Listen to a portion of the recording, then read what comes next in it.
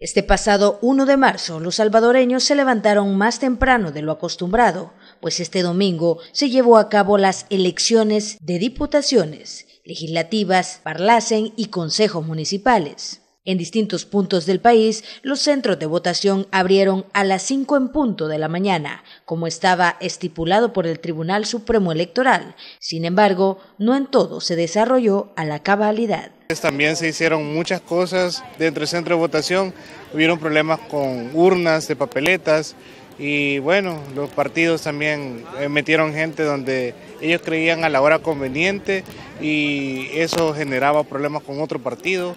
Se llamaba y se leía lo que era la ley para ver si, era, si se podía hacer o no. Además, distintos funcionarios como candidatos a diputados y alcalde se hicieron presente a ejercer su voto. Yo quise venir a despedirme de mi pueblo y decirles, vengo aquí a dar mi último voto, a dejarle la continuidad a Nuevo Cuscatlán en el progreso y ahora ya cumplimos aquí en Nuevo Cuscatlán y ahora vamos a ir a cumplir a San Salvador. Que al final todos somos salvadoreños e independientemente si tenemos, somos de un partido político o del otro, somos de un estrato social o del otro, al final de cuentas hay cosas más grandes que nos unen como que todos somos hijos de Dios, todos somos seres humanos y todos somos salvadoreños. Según estimaciones realizadas por una unidad de análisis, la participación en las elecciones de alcaldes y diputados estuvo entre el 52% y 54% del padrón de votantes.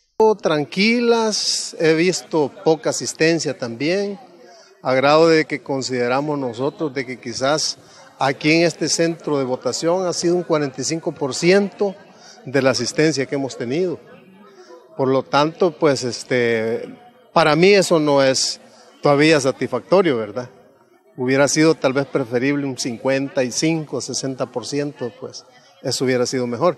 Sin embargo, pues este, para ser la primera vez que se lleva a cabo un sistema de este que es nuevo, pues quizás la gente ha tenido un poquito de recelo de participar por ese voto cruzado y de lo contrario, pues no ha habido ningún problema. La nueva modalidad del voto cruzado provocó que miles de salvadoreños tuvieran alguna confusión al momento de votar por diputados.